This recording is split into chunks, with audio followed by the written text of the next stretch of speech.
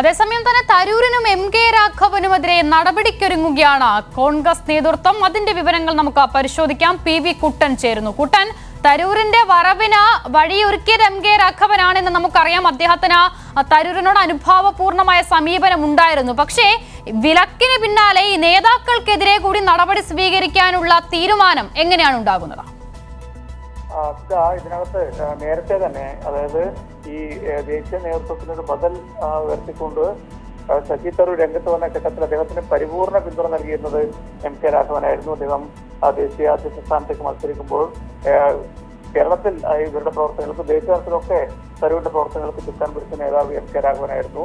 അതുകൊണ്ട് തന്നെ ആ ഘട്ടത്തിൽ തന്നെ ദേശീയ സംസ്ഥാന നേതൃത്വങ്ങളുടെ കണ്ണിലെ കരടായിരുന്നു എം കെ രാഘവൻ. ഇപ്പോൾ മലബാറിൽ പാർട്ടി നേതൃത്വത്തെ ആകെ വെല്ലുവിളിച്ചുകൊണ്ട് മൂന്നോ നാലോ ദിവസത്തെ പര്യടനത്തിന് തുടക്കമിട്ടിരിക്കുകയാണ് ശശി തരൂർ.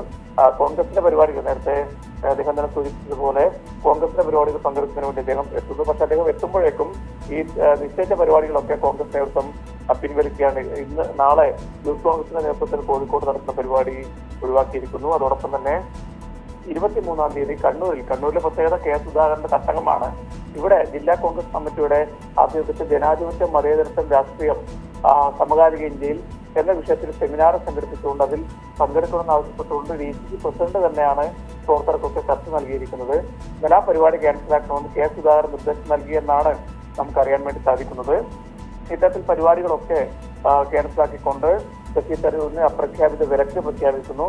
അതോടൊപ്പം തന്നെ അതേ ഘട്ടത്തിൽ തന്നെ മറ്റൊരു കാര്യമുള്ളത് ഈ രണ്ടുപേർക്കെതിരെ നടപടി വരുന്നു എന്നുള്ള ഒരു വിവരം കൂടി കോൺഗ്രസ് വൃത്തങ്ങളിൽ നമുക്ക് ലഭിക്കുന്നുണ്ട്. ശശി തരൂരിനും എം കെ രാഘവനെതിരെ നടപടി വേണം എന്ന തരത്തിലുള്ള ചർച്ചകൾ നടക്കുന്നുണ്ട്. അത് ശശി തരൂരിനെതിരെയുള്ള നടപടി ഏത് തരത്തിലാണെന്ന് ഇപ്പോൾ പറയാൻ പറ്റില്ല. പക്ഷേ എം കെ രാഘവൻ കേരള കോൺഗ്രസ് ഇവിടുത്തെ കെ പി സി സിയുടെ കീഴിലുള്ള നേതാവാണ് അദ്ദേഹം. അതുകൊണ്ട് തന്നെ അദ്ദേഹത്തിനെതിരെ നടപടി വേണ്ടിവരും എന്ന് K P C C president ഉൾപ്പെടെ അടുത്ത വൃത്തങ്ങളോട് സൂചിപ്പിച്ചതായാണ് ശരി വിവരം. പി വി കുട്ടനാണ് വിവരങ്ങൾ നൽകുന്നത്.